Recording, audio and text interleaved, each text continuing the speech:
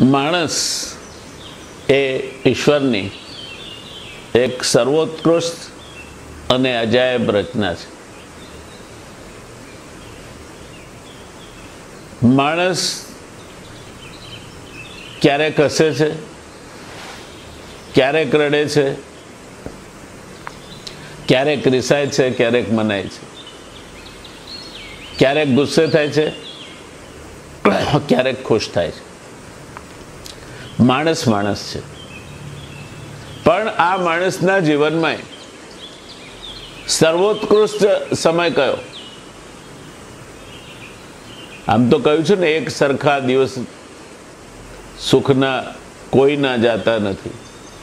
પણ સર્વોત્કૃષ્ટ સમય કયો માણસના જીવનમાં? અને કોઈ પણ પ્રકારના વિવાદ વગર આપણે કહી શકીએ કે માણસના જીવનનો સર્વોત્કૃ, સર્વોત્કૃષ્ટ સમય એનું બાળપણ છે. બાળપણ, શૈશવ, એને એની આગવી ગરિમા હોય છે, એનો આગવો આનંદ હોય છે, એની આગવી સમજ હોય છે, અને સૌથી વધારે ગમે તેવી બાબત એનું સરસ મજાનું ભોળપણ હોય છે. હજુ શેતાન, દુનિયાદારી, દુનિયાદારીની સમજ કાવા દાવા કપાટ, એનામાં નથી ઘૂસ્યું. અને એટલે બાળક ભગવાનનું સ્વરૂપ કહેવાય છે. આપણે બાળકને ઈશ્વરનું સ્વરૂપ ગણીએ છીએ. અને એને ઈશ્વરનું સ્વરૂપ એટલા માટે ગણીએ છીએ કે એનામાં કાવા દાવા નથી. ભોળો છે. એ કોઈનું બુરું ઈચ્છતો નથી. અને જ્યારે તમારું દિલ સાફ હોય, ત્યારે એમાં ઈશ્વરનો વાસ થાય છે. અમે નાનપણમાં એક પ્રાર્થના કરતા, ઓ ઈશ્વર ભજીએ તને, મોટું છે તુજ નામ, ગુણ તારા નિત ગાઈએ, થાય અમારા કામ, હેત લાવી હસાવતો સદા રાખ દિલ સાફ હેતલા લાવી હસાવતો. સદા રાખ દિલ સાફ, ભૂલ કદી કરીએ અમે. તો પ્રભુ કરજો માફ. ઈશ્વર, બાળકને ક્યારેય દોષિત નથી ગણતો. કાંઈ ભૂલ કરવા જેટલી કલુષિતતા એના વિચારોમાં જ નથી. બાળક જે કંઈ કરે છે, નિર્દોષતાથી કરે છે. અને નિર્દોષ બાળક, એની બાલ સહજ ચેષ્ટાઓ. આજે આપણે ભગવાન રામચંદ્રજીની વાત કરતા હોઈએ અને ભગવાન માતા પાસે, પોતાના માતાજી પાસે કજીઓ કરતા હોય મા મને ચાંદો લાવી આપ. ભગવાન છે, એમને ખબર નથી પડતી એવું નથી, પણ બાળ સ્વરૂપ છે. અને બાળ સ્વરૂપનું એ લક્ષણ છે. એને સમજણ નથી, એને ચાંદો જોઈએ છે. અને ત્યારે મા ખુદ એને ચાંદાનું પ્રતિબિંબ બતાવે તાંસળીમાં કે વાટકીમાં. અને ભગવાન ખિલખિલાટ હસી પડે કે વાહ, આ બાળપણ છે. મૈયા મોરી મેં નહીં માખન ખાયો. હા, આ વ્રજની ગોપીઓ તો ખાલી ખાલી મારી પાછળ પડી ગઈ છે. હું તો હમણાં અહીં હતો. હું ક્યાં ગયો છું કોઈના સાથે મેં મટકી ફોડીને માખણ ખાધાનો મારા પર આક્ષેપ થાય છે એ બાળ કનૈયો બાળ સ્વરૂપે જેની ભક્તિ થાય. નટખટ કાનુડો. બાળ સ્વરૂપ એટલે ઈશ્વરનું સ્વરૂપ છે. અને બાળક ક્યારેક ક્યારેક એની રીતે એની વાત કહેતો હોય છે. આજે એક બાળકની કવિતા આપણે સાંભળવી છે, માણવી છે. એ કહે છે, પાટી પર લખેલું લેસન, પાટી પર લખેલું લેસન, આ નોટબુક વાળાની જમાનાની વાત નથી. પાટી પર હજુ ક્યાંક ક્યાંક ભણતર ચાલે છે. અમારા જમાનામાં તો પાટી પર જ ચાલતું. એના પહેલા ધૂળી નિશાળો હતી. ધૂળમાં બરાબર સમતળ કરીને અક્ષરો શીખવાડાતા. એમાંથી પાટી આવી. પાટીમાંથી હવે નોટબુક આવી અને એમાંથી પેલી ઇલેક્ટ્રોનિક નોટબુક આવી. સમય પ્રમાણે ટેકનોલોજીએ પ્રગતિ કરી છે. આ એ જમાનાની વાત છે જ્યારે સ્લેટ જેને કહીએ છીએ એવી પાટી લઈને બાળક નિશાળે જતું. એટલે આ બાળક કહે છે કે પાટી પર લખેલું લેસન. તમે કોઈ વખતે બાળકોની સ્કૂલના બીજા ધોરણના કે ત્રીજા ધોરણના ક્લાસની બહાર નિરાતે ચૂપચાપ ઊભા રહીને બાળ સહજ ચેષ્ટાઓ જોજો. એ થૂંક લગાડીને ભૂસશે એને. શિક્ષક ગમે તેટલું શીખવાડે કે સ્લેટમાં ના થૂંકાય, પણ એ તો એ થૂંક લગાડીને જ એનું સ્લેટમાં ભૂસીને સ્લેટને કોરી ચટ્ટા કરી નાખે. એટલે થૂંક લગાડી ભૂંસતો, ટચલી આંગળી ઊંચી કરતો. ટચલી આંગળી ઊંચી કરતો. શિક્ષકની અમે ટચલી આંગળી ઊંચી કરીને ઊભો રહે, એટલે સાહેબ કે, જા.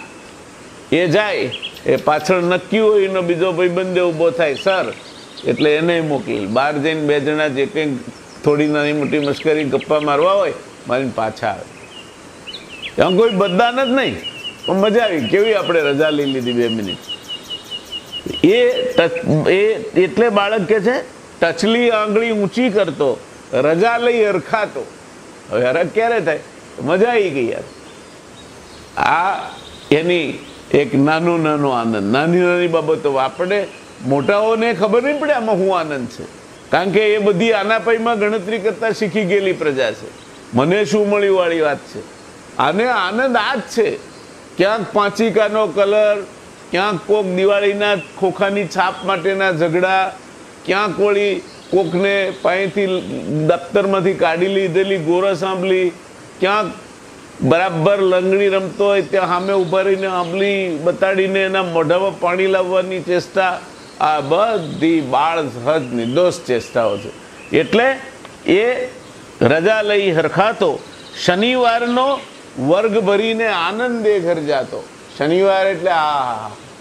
આવતીકાલે તો રવિવાર છે. રવિવાર રજાનો દિવસ. રજા એટલે મજાનો દિવસ. અને એટલે શનિવારે છૂટે ને નિશાળ, ત્યારે તમે જોજો બાળકોના પગમાં જરાક વધારે જુસ્સો હોય છે.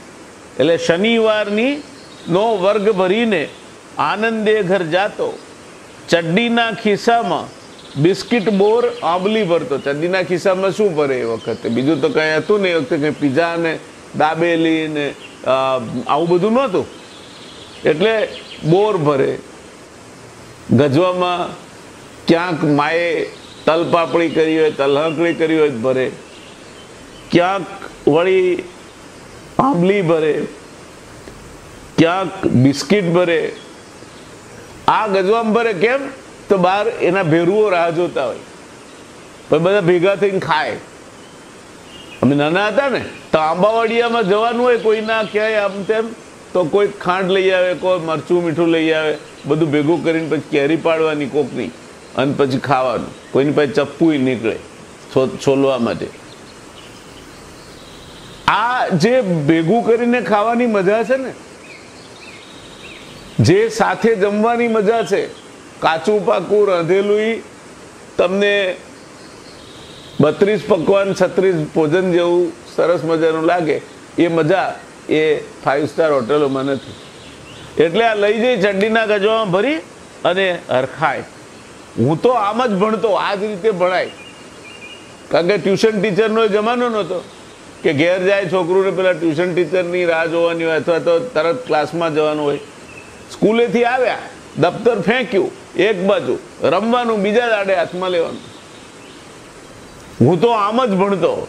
આ ભણતર હતું સાચું કહું તો બાળપણમાં, સાચું કહું તો બાળપણમાં સાચે સાચું જીવતો.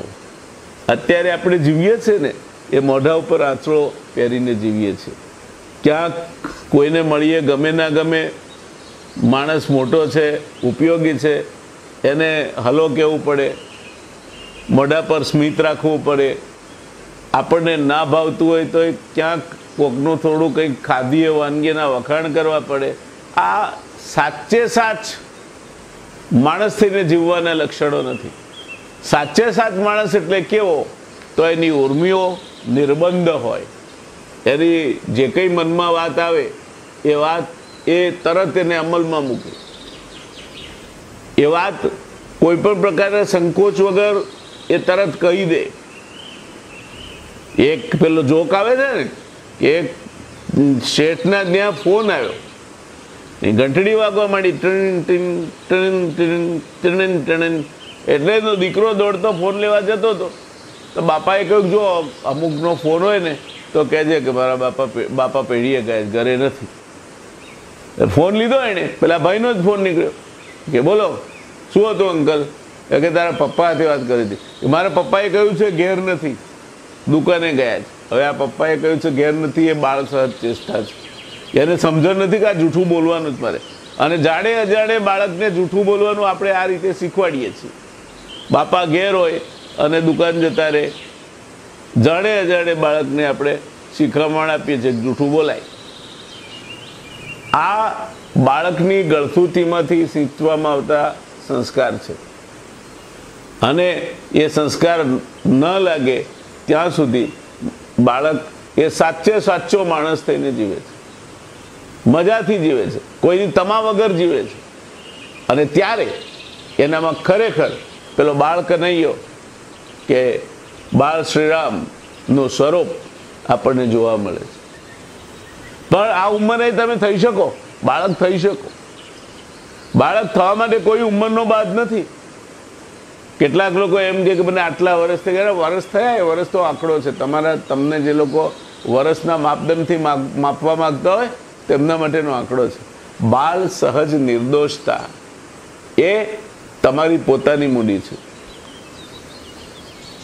ખડખડાટ હસવું, મનમાં હોય તે કહેવું, કપટ નહીં રાખવું, જૂઠું નહીં બોલવું અને પોતાને ગમે તેમાં ભાગ લેવો, દિલથી ભાગ લેવો અને ભાગ લીધા પછી કોકને દબ્બો મારીને યાર તું તો મસ્ત જીત આજે રમ્યો, મને હરાવી દીધો. એમ ખેલદિલીપૂર્વક કહેવું એ બાળપણ છે.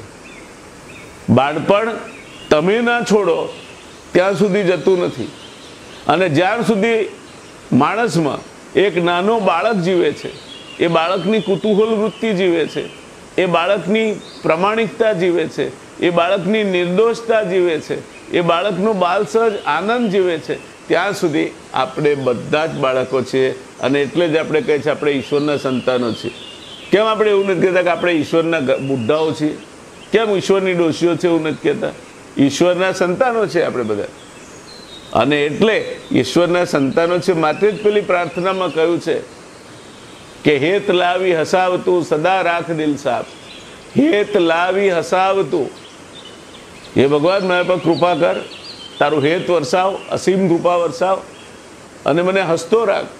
હેત લાવી હસાવતું, સદા રાખ દિલ સાફ. મારું દિલ હંમેશા બાળક જેવું નિર્દોષ હોય. ક્યાંય ડાઘો ના હોય. બિલકુલ નિર્દોષ બાળકની માફક. સફેદ મલમલના તાકા પર ક્યાંય એક છીટ ન પડી હોય કોઈ બીજી વસ્તુની. એવી સરસ મજાની જિંદગી એ બાળકની જિંદગી છે. હેત લાવી હસાવતું, સદા રાખ દિલ સાફ. ભૂલ કદી કરીએ અમે તો પ્રભુ કરજે માફ. ત્યાં સુધી નહીં તૈયાર ભૂલ તો કરશું અમે. એવું નથી એનું વચન આપી દેવાનું કે ના, ભૂલ નહીં કરીએ. બાળક છે, ભૂલ થશે. એનામાં કાવા દાવા નથી. કાયદાની ભાષામાં કહે છે ને mens rea intention to commit something bad intention to commit crime એ બાળકમાં નથી. મેન શ્રિયા બાળકમાં ના હોય. એનામાં ભૂલ કરવાની ક્ષમતા છે. અને એ ભૂલ એ કોઈ ઈરાદાથી નહીં, પણ બાલ સહજ ભૂલ છે. બાલ સહજ ભૂલ છે તો ઈશ્વર એને માફ કરે છે. આ ખ્યાલમાં રાખીને જીવીએ. આપણામાંનો બાળક ક્યાંય ભૂલે ચૂકે, મૃત્યુ ન પામે. બાળ સહજ વૃત્તિ, બાળ સહજ સરળતા, બાળ સહજ નિર્દોષતા અને છેલ્લે પેલો ભલભલાને મોહી લે ને તમે કૃષ્ણના મોસામું જોયું છે? બાલ સહજ સ્મિત. એ તમારા ચહેરા પર અહીં જો સ્વચ્છતા હશે, તો જ આવશે નહીં નહીં આવે. આપણને દોરતા રહે એ ભાવના સાથે આજની વાત પૂરી કરીએ? આપ સૌ સુખી થાવ સૌનું મંગલ થાય. સૌ આનંદ સાથે જીવો. આનંદ સભર જિંદગી જીવો. એ જ આજની આ સમગ્ર રજૂઆતની શુભકામના.